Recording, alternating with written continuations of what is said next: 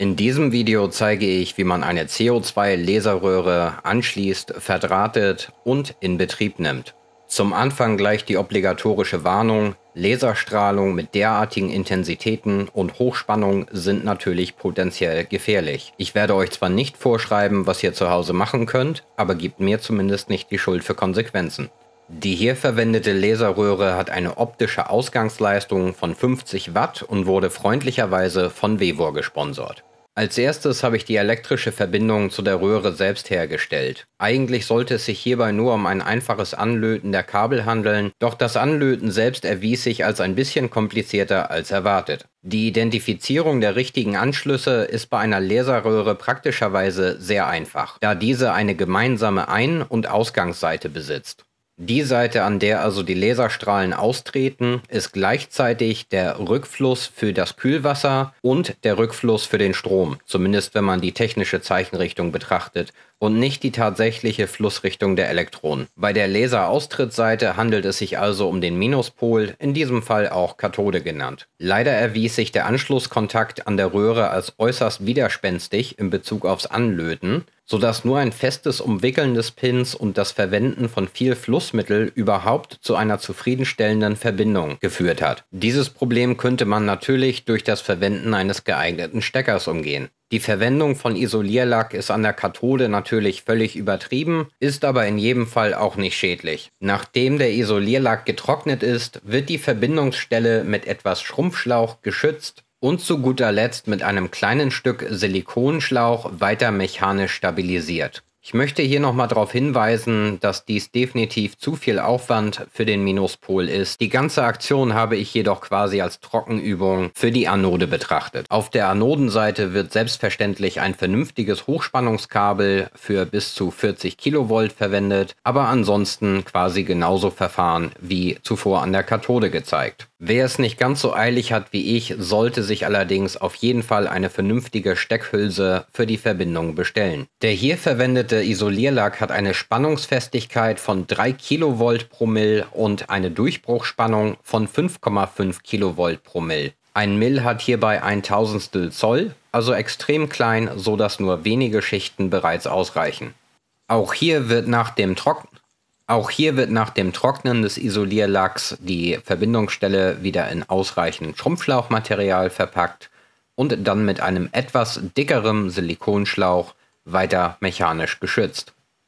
Der Silikonschlauch ist zwar formell nicht unbedingt notwendig für den Betrieb der Röhre, birgt jedoch unangenehm Durchschlägen oder selbst Teilentladung durch mechanische Belastung und Beschädigung der Verbindungsstelle oder des Kabels effektiv vor.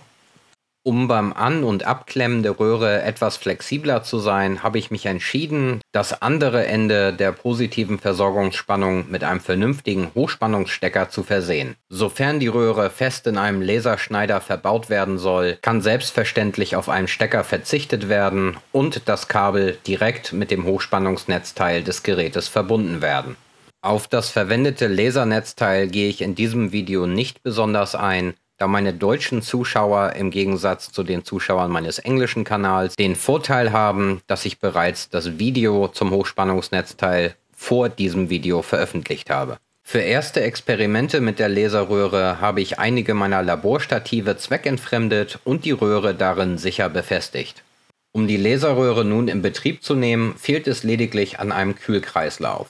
Bei der Durchflussrichtung des Kühlwassers kann man sich wieder an der Laseraustrittsrichtung orientieren. Die optische Ausgangsseite ist gleichzeitig der Ausgang des Kühlkreislaufs. Der Kühlwasserzulauf befindet sich folglich am Pluspol der Laserröhre. Sofern man kein Fan von Kalkablagerung in seiner Laserröhre ist, sollte man als Kühlwasser unbedingt destilliertes Wasser verwenden. Für einen Langzeitbetrieb muss das Kühlwasser auch auf alle Fälle mit einem geeigneten Wasserkühler gekühlt werden. Für meine einfachen, kurzzeitigen Experimente reicht die hohe Wärmekapazität des Wassers jedoch erstmal aus. Nachdem das Kühlwasser alle Luftblasen aus der Röhre erfolgreich verdrängt hat, kann der Laser nun in Betrieb genommen werden.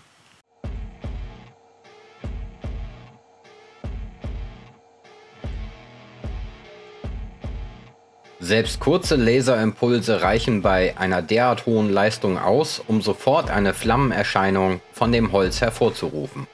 Die wunderschöne violette Farbe in der Laserröhre selbst ist leider nur auf der Kamera derart deutlich sichtbar. Das liegt daran, dass eine Handykamera im Bereich um 1000 Nanometer deutlich empfindlicher ist als das menschliche Auge. Obwohl es sich hier um Infrarotlicht handelt, ist zumindest etwas violettes Leuchten im Dunkeln mit dem menschlichen Auge erkennbar. Bei dem Stichwort menschliches Auge möchte ich nochmal dringend darauf hinweisen, dass bei Arbeiten mit derartig hohen Leistungsdichten auf jeden Fall eine geeignete Laserschutzbrille getragen werden muss. Aus Neugier habe ich aus meiner Bastelkiste mit optischen Komponenten einen Kalium-Titanylphosphat-Kristall hervorgekramt der aufgrund seiner nichtlinearen optischen Eigenschaften zumindest theoretisch in der Lage sein sollte, das Infrarotlicht bei rund 1060 Nanometern in grünes Licht bei einer Wellenlänge von 530 Nanometern zu verwandeln. Dies erwies sich jedoch als eine sehr teure Spontanidee.